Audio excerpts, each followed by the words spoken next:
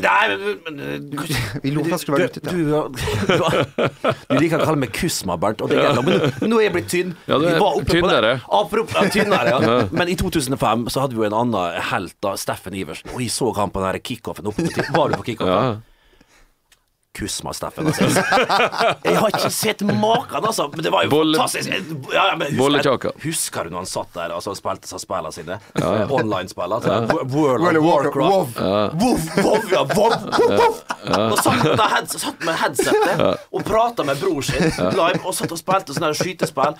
'Brorsan, brorsan, dverg bak deg, fram med sverdet!' Og så, sto, altså liksom kommuniserte med hverandre, da. 'Brorsan, brorsan, stor drage på venstre flanke!' Og holdt på å styre sånn der. Men det beste, beste var Jeg kommer ikke etter, jeg kommer ikke etter. Vi andre måtte bare varme opp, for det var umulig å rive han løs fra Bov.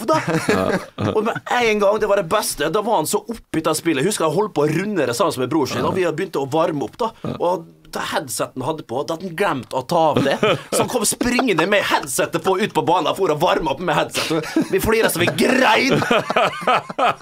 For å varme opp i headsetet! Mens jeg hadde sånn, sitt sånn Edgar Davids-briller. Så det var sånn, så det faen ut som en sånn Den Med, med dog på, selvfølgelig. Ja, men- ja, ja, Den var så dårlig, så Ja, ja. Det var noen noe dog på brillene som du ikke hadde briller. Ja, det var det Jeg så noe si. ingenting. Der. Så